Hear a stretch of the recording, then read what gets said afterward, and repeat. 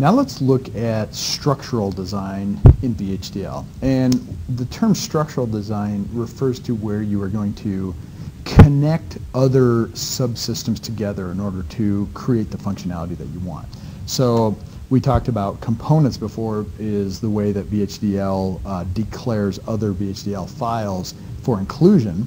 So if we had a system, for example, where we wanted to create a system where its functionality was nothing more than the connection of lower level systems, what we would have to do is we would have to first declare what these systems were, and then when we go to use them, we do something called instantiation. Instantiation can be done numerous times. It can be done once, it can be done a million times, but the instantiation is where we actually put these subsystems down into our design and then we need to connect them accordingly. So we have this notion of what we call port mapping. So when we say structural design, what we're really talking about is instantiating other VHDL systems into a higher level system in order to accomplish functionality. Okay, so the way that you instantiate something is as follows. So remember that we come along and we say, okay, architecture, and then we have the begin statement.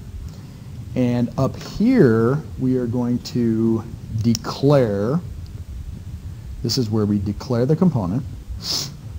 And then down here, we're going to instantiate it. So after the begin statement, the syntax is as follows. What you do is you put a instance name, okay, so this is an instance name, and this is something that you make up, and then you put a colon, and then you put the component name, and the component name has to match exactly what was in the declaration. And then what you do is you do a keyword port map, port map, port map, and then you do the port connections. And then within this port connections, there's two way to do two ways to do the port mapping. Okay, and we'll, let me just describe it really briefly, and then the best way to learn it is to look at an example. So there's two ways to do it. You can do explicit and you can do positional. And the way that it works is in explicit, what you do is you actually list, you're going to list what the port name is. So you'll do a port name, and that's the port of the lower level component. And then you do this connection operator, which is equal and then greater sign, and then you put the signal in the higher level system of what it is. So for example, if you had a port that was called A here and this was called N1, you would come over here and the port would be A gets connected to N1. So that would be the, the syntax there, assuming N1 was an internal node. Positional is where, depending on the way, or the connections are made by simply listing out in order all of the signals in the top level, so SIG1, SIG2, SIG3, and you list them all out in in the order, and they're connected in the order that the ports were declared in the component declaration. So this one takes less syntax, but you got to be careful of which order they're in. Okay, so the best way to learn this is to look at an example. So let's just take an example where we're going to build the exact same truth table uh, that we looked at when we did concurrent signal assignments with logical operators, where we looked at conditional signal assignments and selected signal assignments. So let's say we had this truth table, and we are going to build this circuit, so inverters, ANDs, and an OR, but we're going to do it where instead of using operators for these logic operators or these logical gates, we're actually going to declare three components that have already been designed. So let's say, for example, that we had three other designs that we either created or we bought from somebody or somebody else created for us. And these are what the lower level entities look like. So for example, we had an inverter which was called INV1 and it's got the port definition of A and F are its ports. Then you have AND3, the three representing that it's got a fan in of three, and then you have ABC and F are its declaration or its ports, and then we have an OR3. So So A, B, C, and F again. And let's instantiate these into a higher level file in order to create this functionality. Now we're assuming that the inverter actually does the inversion. This is a three input AND operation and this is the three input OR operation. Uh, and we can just make that assumption. So let's take a look at how this goes. So the first thing that we want to do is let's create the entity for our system and let's just call it system X. So we come along, entity system X, A, B, C, and F, and this is, we're creating this truth table right here. Now what we're going to do is we start the architecture. Architecture system X arc of system X. Notice this is, I just made that up, this is tying it to that entity. And then we come down here and it's time to do our declarations. Well, when we do this, we also need internal signals. So let's do our signal declarations first. So we're going to have AN, B, and CN, and we're going to have M0, M2, and M6. So we declare those using signal declarations. Then we need to declare our components. So we need to tell this level that these three subsystems exist and that what their names is and what the exact port definition is. So let's take a look at declaring the first component.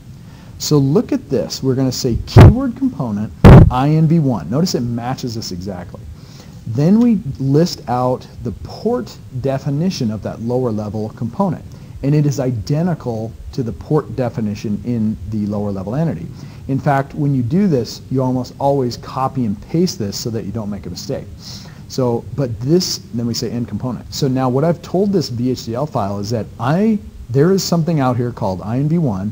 Its ports are like this, and I'm going to use it as a component. I might use it a million times, I might use it just once, but I'm going to use it. Then let's continue. Let's do the AND declaration. So same thing, component and 3, and then you give the ports. And then finally, let's do the OR. So then that's going to be component OR 3. So what I've done is I've declared my three components that I'm going to use, and I'm ready to start modeling behavior. Okay, so what's left is I need to instantiate these and port map them. So the first thing I'm going to do is I'm going to give a unique instance name. And the reason you need an instance name is because we might use this inverter more than once. And in fact, we will use it more than once. We're going to use it three times. I'm going to use the keyword port map. Notice you can put it all on one line or you can wrap lines. It's, it doesn't matter. It, it is all understood until it gets to the semicolon. The semicolon ends this line of code. So then I say I'm going to use explicit port mapping. Notice that I listed the port name of the inverter and then I listed the signal name in my entity or in my top level. This is the port name, F is the port name of the inverter, AN is the signal name of my top level. So let's see if I can get that on the screen. Gonna, we're really interested in this right here. So notice that this right here was the port of the lower level, and this right here was the signal in the higher level. So that's how you do the explicit port mapping. All right. Now, explicit port mapping, you don't have to have these in any particular order because it's so explicit, but it, it's the safest way to do it, although it does take a little bit of extra syntax. Okay, so now let's look at three of these inverters. Now, this really illustrates how we needed that instance name. So I just said U1, U2, and U3, and that's to give unique identifications to these three subsystems that we instantiated, or these three components. Notice that I hooked them up. I had A, B, and C as the signals coming into my three inverters, and then I had A and B and CN. But look at how the ports were always A and always F, and that's because that's what the ports were, of that lower level instance. Okay, so I've got my three inverters, and now I'm ready to do three AND gates. So take a look at these AND gates. I have my instance name, I just called it U4, U5, and U6, and 3, which was the name of the component, then I had port map and I did explicit port mapping again. So this is where I had to actually connect it correctly. And the outputs were connected to M0, M2, and M6. And then finally I need to instantiate one OR gate. So I, I just called it U7. And I said OR3, port map, and then I just connected these three signals together, M0, M2, and M6, and the output was F to F. So this was the lower level port name of the OR3, and this was the signal name of what was at the top level, which was F, which actually was the port output of the entire thing. And I'm done. So this right here, if you look at that, this right here is a structural implementation of this logic circuit. Now this is, a, it's an example, okay? You, you would rarely do this with basic gates, but it's to illustrate how you instantiate these lower level components and you do the wiring. Again, this is explicit port mapping. If we wanted to look at positional port mapping for that exact same example, all we would do is here, here is the explicit port mapping that we just had in that example. Here's what it would look like as positional port mapping. So I excluded the lower level port name from it and I just had to put the signal name of the upper level instant or the upper, upper level signals in order. So it was implied that A was connected to the first port declared on the lower level instance. Now this is dangerous because when you get a large signal list here, sometimes you can accidentally put them in the wrong order and it'll, it's very difficult to debug. So in general, safe design is to use explicit port mapping, but this can be, for really small ones, you can use this to kind of speed up or reduce the complexity of, of the design. So that is structural design using components.